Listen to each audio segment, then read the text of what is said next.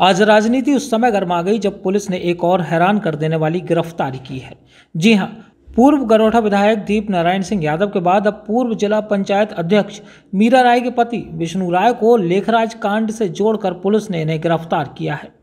आपको बताते चले कि कई अपराधों की सजा काट रहा लेखराज सिंह यादव कन्नौज जेल से झांसी पेशी पर लाया गया था। इसी दौरान उसे पुलिस अभिरक्षा से भगाने का प्रयास किया गया था। ऐसा कहना था पुलिस का, जो लेखराज को अपने साथ लेकर आई थी।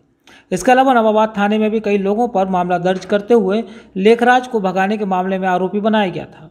साथ ही मोट में भी इस तरह का मामला दर्ज हुआ था। इसमें सबसे बड़ा नाम था पूर्व गरौठा विधायक दीप नारायण सिंह यादव का।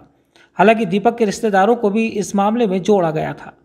इसके बाद अब विष्णु राय का नाम सामने आया है, जिन्हें पुलिस ने बीती रात झांसी रेलवे स्टेशन से गिरफ़्तार किया है। पूर्व जिला पंचायत अध्यक्ष मीरा राय के पति विष्णु राय की माने तो वह बीती रात भोपाल से लखनऊ की तरफ़ जा रहे थे। इस दौरान उन्हें झांसी पुलिस द्वारा ट्रेन से उतारकर पुलिस ने हिरासत में लिया है। आज पूरा दिन पत्रकार विष्णु राय से मिलने के लिए नवाबाद थाने में इंतज़ार करते रहे, लेकिन पुलिस ने पत्रकारों को विष्णु राय से बात नहीं करने दी। इसके बाद विष्णु को न्यायालय में पेश करने से पहले डॉक्टरी परीक्षण के लिए जिला अस्पताल ले जाया गया, जहाँ कड़ी सुरक्षा के बीच विष्णु राय का डॉक्टरी परीक्षण हुआ। इस दौरान चलते चलते वह मीडिया और पत्रकारों को सिर्फ़ इतना ही बता पाए कि वह नहीं जानते कि उन्हें किस मामले में पुलिस ने गिरफ़्तार किया है। पुलिस किस प्रभाव में काम कर रही है? साथ ही उन्होंने यह भी कहा कि पुलिस से कोई शिकायत नहीं है। अब अगर सूत्रों की माने तो पुलिस विष्णु राय को लेखराज भगाने के षड्यंत्र मामले से जोड़ रही है। पुलिस ने उस दिन भी विष्णु राय को कचहरी में पाया था, जिस दिन लेखराज की पेशी थी। हालाँकि विष्णु राय का कहना है कि वह अपने काम से कचहरी आए थे। इसके अलावा विष्णु राय की लोकेशन कन्नौज में प्राप्त हुई थी, जहाँ लेखराज बंद है। जिसके बाद पुलिस ने उन्हें शक के आधार पर गिरफ़्तार किया है।